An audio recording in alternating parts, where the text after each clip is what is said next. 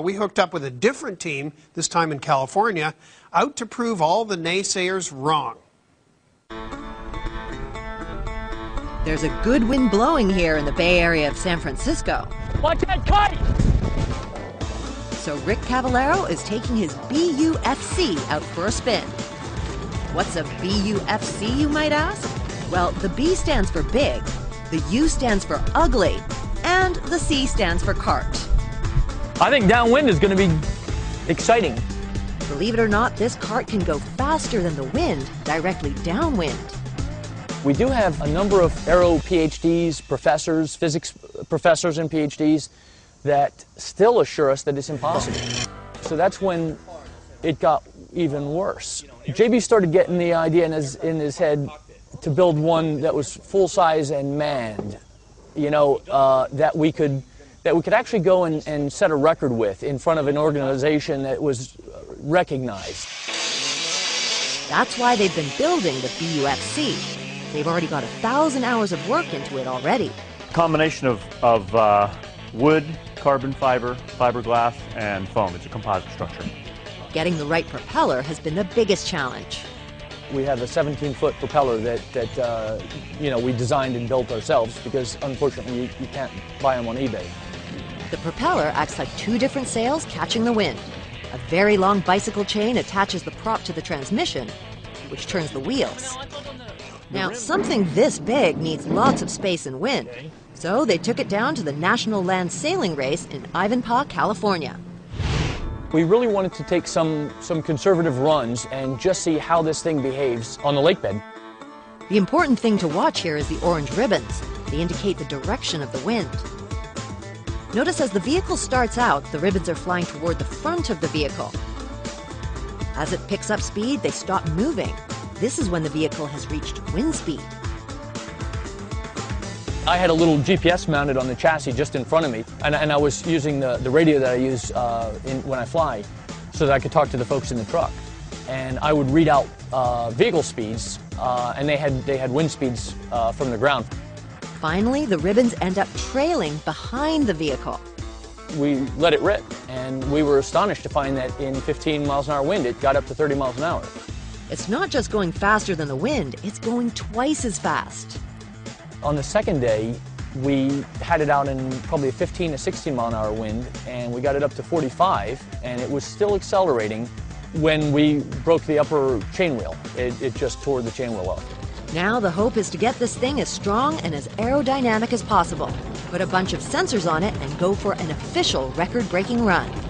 Our stated goal now is pi. We want to get it to a little, a little more than three times the wind speed, but secretly, I would love to see us get to four. I'm not, I, I don't imagine four, but I, that would be fun.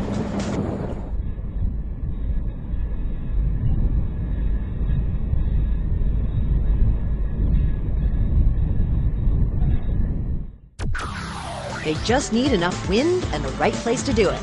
And maybe then people will believe this big, ugly cart really can go faster than the wind. By the way, it seems the name BUFC didn't stick. Rick and JB are now officially calling their vehicle the Blackbird, a reference to the stealthy SR 71 Blackbird military aircraft. The new name is also a nod to the Greenbird, which recently set the wind powered land speed record.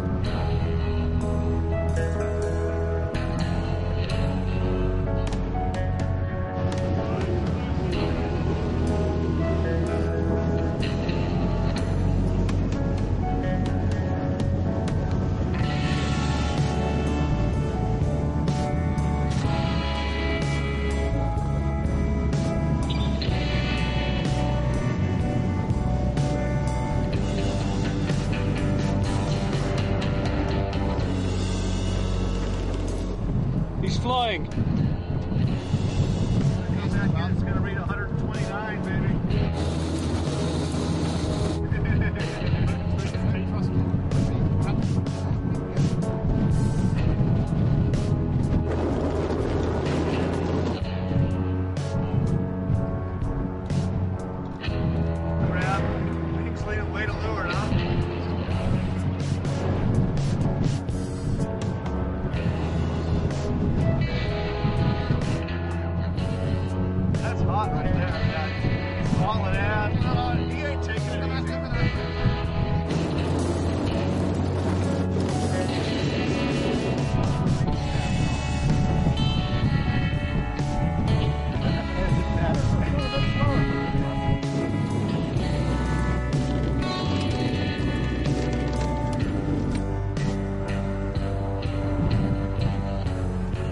thumbs up back.